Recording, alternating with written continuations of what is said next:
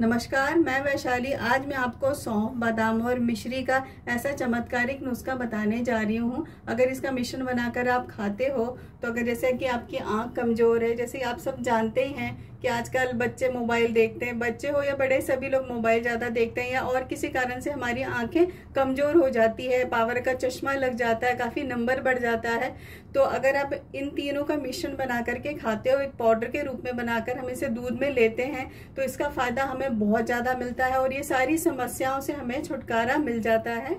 जैसे हम लोग बादाम, सौंफ, मिश्री तो अलग अलग खाते ही हैं, लेकिन अगर हम तीनों को मिक्स करके खाते हैं तो इसका फ़ायदा हमें आँखों के लिए तो मिलता ही है, लेकिन इसके फ़ायदे और भी बहुत ज़्यादा है। जैसे जिन लोगों को गैस, कब्ज, पेट साफ़ नहीं होने की परेशानी है तो हम इसका जो मिश्रण बना करके खाते हैं, जैसे कि आप सबको पता ही है कि बादाम में और सौंफ में काफ़ी मात्रा में फाइबर होता है, और सौंफ तो हम जैसे पेट खराब होता है तो अक्सर लेते ही रहते हैं तो हमारा पेट भी अच्छी तरह से साफ़ होता है। और जिन लोगों को नींद ना आने की समस्या है तो इस मिश्रण को ठंडे दूध में मिक्स करके पियेंगे तो उन्हें नींद भी बहुत ही अच्छी आती है। और इन तीनों का मिश्रण हमारे स्किन के लिए भी बहुत ही फ़ायदेमंद है क्योंकि इस मिश्रण को लेने से आ, हमारे अंदर जो टॉक्सिन्स होते हैं विषैले पदार्थ होते हैं वो बाहर निकलते हैं तो हमारी स्किन बहुत ही बढ़िया ग्लो करती है। और जो लोग अपना वेट लॉस करना चाहते हैं उनके लिए भी ये मिश्रण बहुत ही फ़ायदेमंद है क्योंकि इस मिश्रण से जो फैट होता है हमारी बॉडी में वो बर्न होता है तो हमारे चर्बी कम होगी तो वेट वेट लॉस अपने आप ही होगा।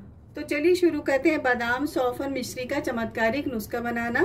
तो यहाँ क्वांटिटी बता देती हूँ आपको। तीनों मैंने बराबर मात्रा में लिया हुआ है। तो जैसे बादाम 100 ग्राम है, सौंफ 100 ग्राम है और यहाँ पे मिश्री भी 100 ग्राम है। क्योंकि आपको छोटा टुकड़ा दिख रहा होगा, लेकिन वज़न में काफ़ी हैवी है और ये धागे वाली मिश्री है और ये काफ़ी अच्छी मानी जाती है। आयुर्वेद में भी ये इसका बहुत ही फ़ायदे हैं। तो ये देखिए मिश्रण बनाने के लिए यहाँ पर मैंने छोटा वाला मिक्सर जार ले लिया है। तो अब मैं इसमें सौंफ डाल दूँगी।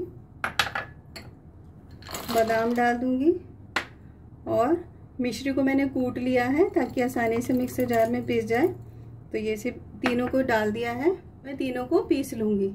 तो ये देखिए सौंफ मिश्री और बादाम का ये मिश्रण तैयार हो गया है और आप कलर देख सकते हो कितना बढ़िया आया है। बहुत ही अच्छी खुशबू भी आ रही है।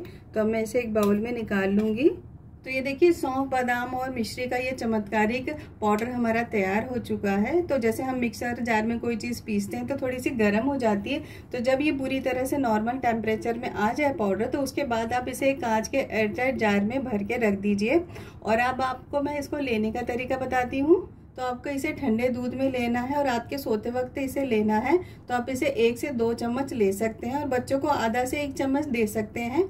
और जैसे जैसे आप इस मिश्रण का सेवन करने लगेंगे तो आप देखोगे कि इसका फ़ायदा आपको काफ़ी मिलने लगा है, आपकी आँखों की रोशनी बढ़ने लगी है और आपकी काफ़ी सारी समस्याएँ पेट से संबंधित है तो पेट साफ़ होने लगेगा, नींद भी अच्छी आएगी, आपकी स्किन भी ग्लो करेगी। तो मैं आशा करती हूँ कि आपको ये सौंफ, बादाम और मिश्री का चमत्कारी नुस्खा पसंद आएगा और आप इसका यूज़ ज़रूर करेंगे। और आप कमेंट करके भी ज़रूर बताइए कि आपको ये नुस्खा कैसा लगा।